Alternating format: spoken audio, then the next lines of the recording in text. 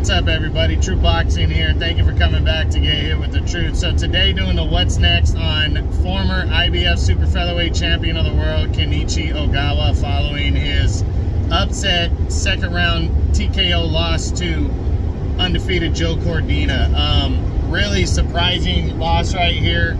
Um, this was supposed to be a stay busy fight for Ogawa, and now everything that he had lined up has been ruined. He uh, got knocked out brutally knocked out in the second round against um, Cordina. A monster right hand landed.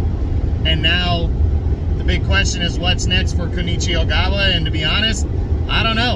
Um, I, Ogawa really need, he's going to have to go back to the drawing board now. He, he you know, he's forced to because that was a, a monster loss after really, um, you know, coming out and dominating Azinga Fazil to capture the vacant title back in November and um, really impressing people. You know, Fazil's a solid fighter and he came out and pretty much just outworked them, dominated, scored a few knockdowns in that fight and route to a, a convincing decision win and captured his, you know, officially captured the world title.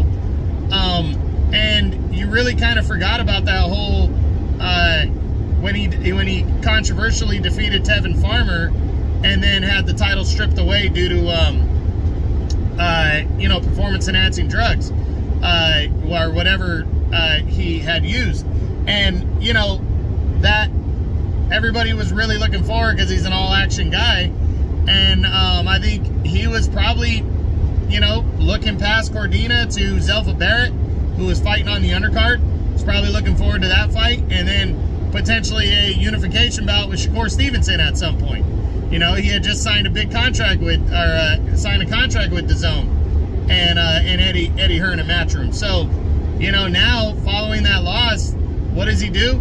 He's gonna have to go back to the drawing board. I doubt he fights a top ten guy next. I really am not even gonna run through the top ten. He's probably gonna uh, just appear on an undercard later this year, and um, you know, shake off the loss and get back into the mix. But tough defeat for him and hopefully he bounces back sooner rather than later.